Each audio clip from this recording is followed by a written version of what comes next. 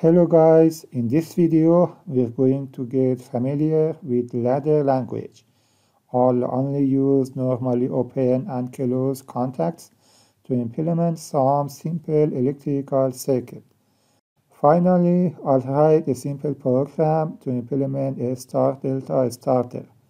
It's a common method in industries to reduce the starting current of the motors without using any external device.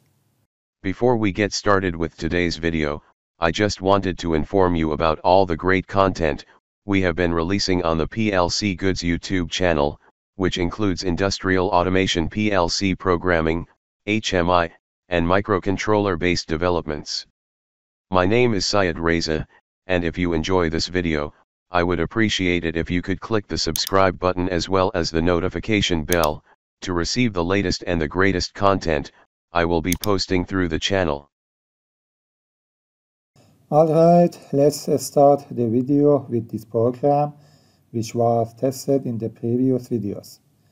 At the bottom, you can see its equivalent industrial circuit with relays.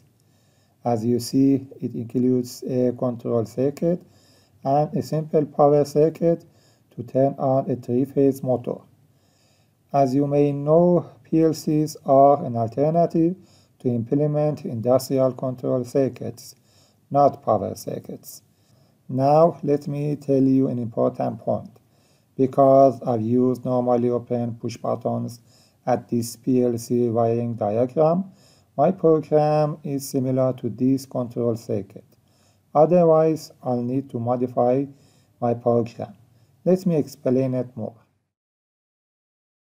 Well, a push button can be normally open or closed, and a contact in a program can be normally open or closed as well. So there are four states according to the type of push buttons and contacts.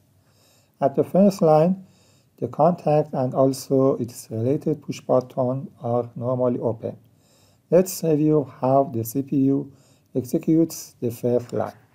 In normal conditions, the 24 volts doesn't reach the first digital input terminal. So the CPU doesn't change the state of the first contact at the first line. In consequence, the virtual power can't reach the first digital output. So the first digital output is off in normal conditions. But if I press the first push button, the 24 volts reaches the first digital input terminal. So the CPU changed the state of the first contact from open to closed. Now the virtual power can enable the Q0.0 address. So if I press the first push button, my CPU turns on the first digital output. The important point is that the state of this contact is changed based on the state of its digital input address, which works based on the voltage level at its input terminal, not based on the type of push button.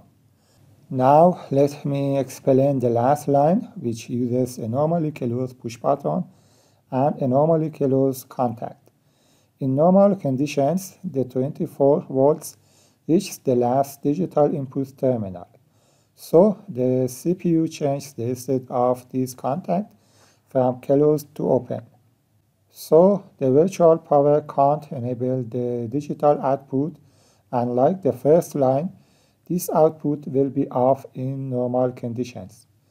But if I press the last normally closed push button, the 24 volts doesn't appear at the input terminal.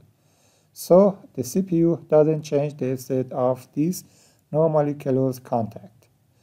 In consequence, the virtual power can reach the fourth digital output and turn it on. As you saw, the performances of the first line and the last line of my program are similar together. Similarly, the performances of the middle lines are the same. In normal conditions, these two outputs are on. When I press these two push buttons, the CPU turns off these two digital outputs. Note that these two lines of my program are different. but their overall performances are the same because of using a different type of push buttons. Now let's do a more complex project to learn a simple way of PLC programming. First, pay attention to this industrial circuit. As you can see, there are three conditions that can turn on the lamp. Also, three conditions can activate the K1 contactor and in consequence the three-phase motor using the power circuit.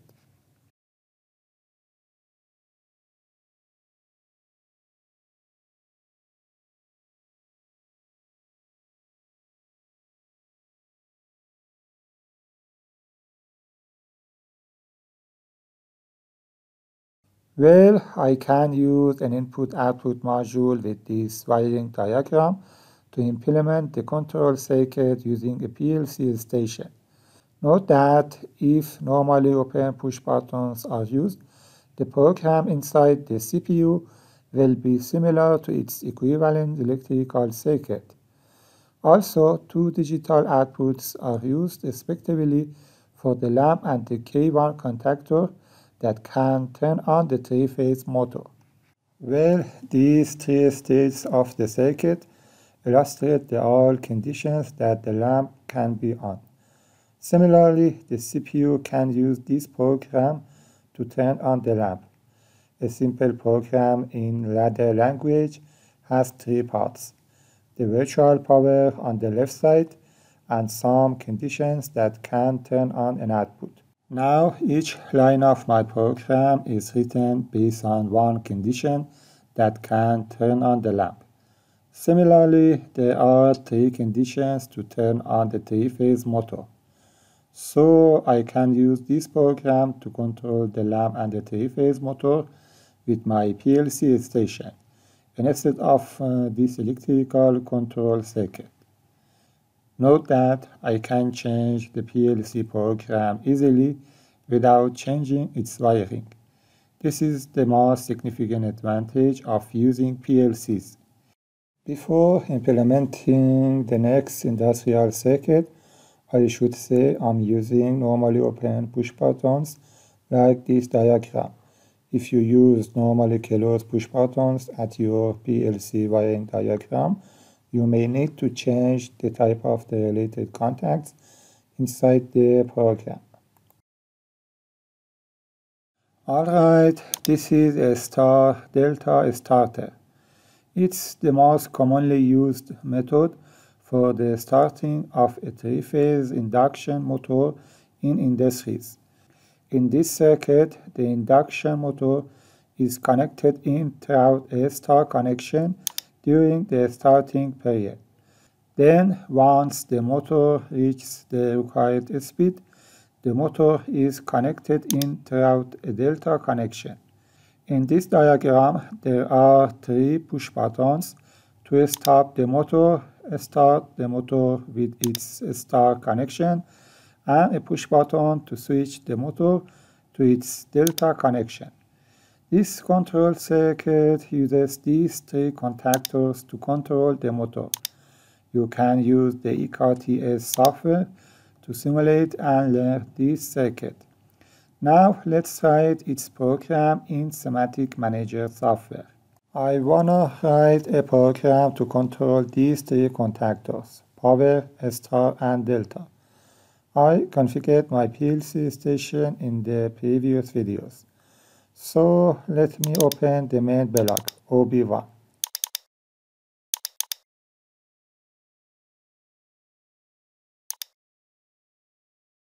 Now let me add a suitable title and comment to my program.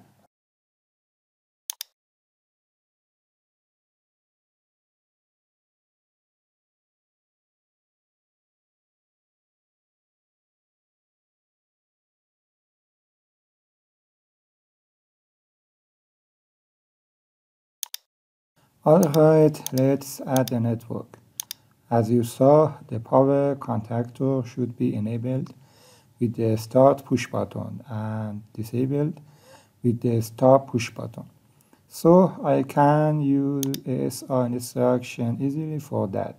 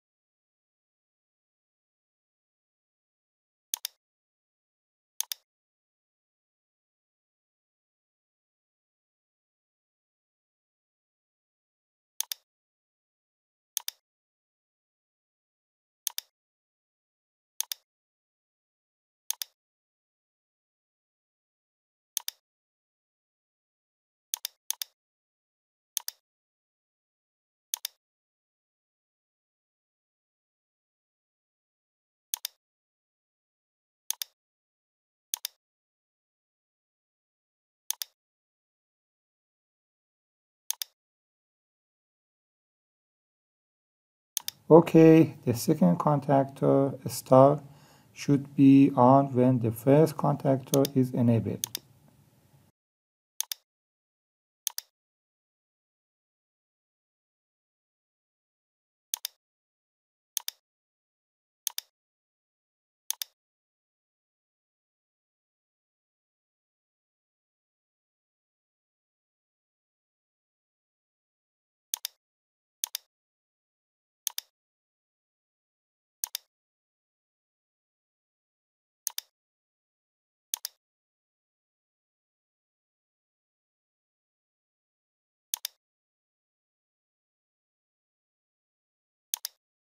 Okay, I need another network for the Delta contactor. When I press the third push button, this contactor should be enabled. Naturally, when the stop push button is pressed, the Delta contactor must be disabled.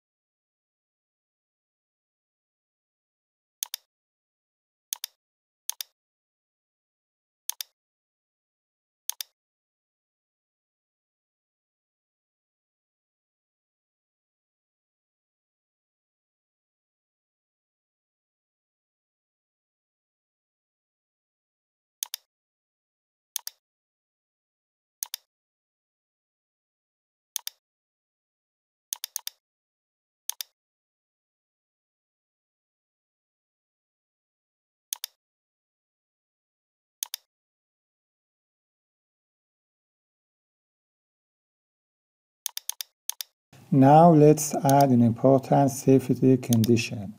According to the power circuit, the star and delta contactors must not be enabled at the same time. So let me use a normally closed contact of the third digital input here. In consequence, when I press the third push button, the star contactor will be off. Also, when the delta contactor is enabled, the star contactor must not be on. So let's use a normally closed contact of the third digital output before the second digital output which enables the star contactor. Now let's add similar safety conditions to the third network. When I enable the third digital input to enable the delta contactor, the first contactor must be on and also the star contactor must be off. Alright, this is a simple program to implement the star delta starter with AS7300 PLC. Now let's test it with the PLCSIM simulator.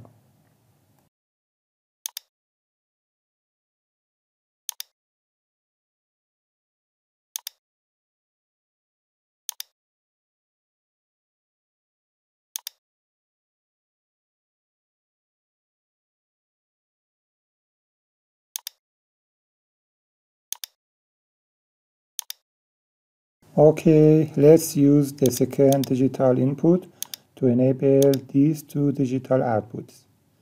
Well, to see the state of the contactors, I need to modify this address on the PLCSIM Simulator window.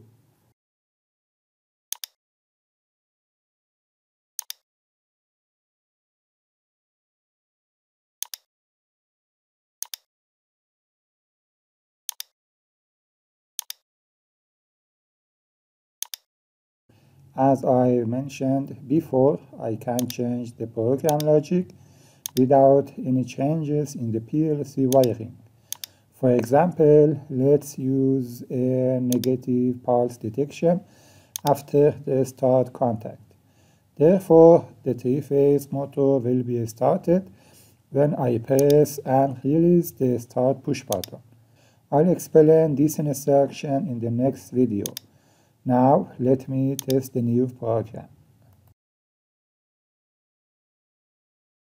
As you can see, I need to enable and also disable the start contact to activate the two first digital outputs. Similarly, I can test the program using my PLC station. I need to close the PLC simulator and then download the program into my CPU which were explained in the previous videos.